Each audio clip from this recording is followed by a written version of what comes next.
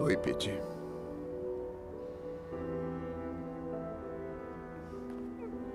Oi.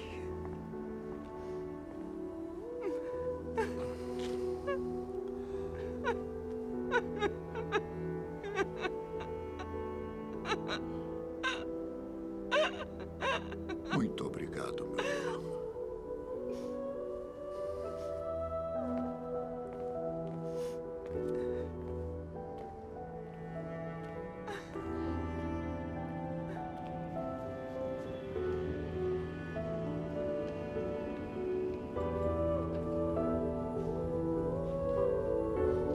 Jenny, eu sinto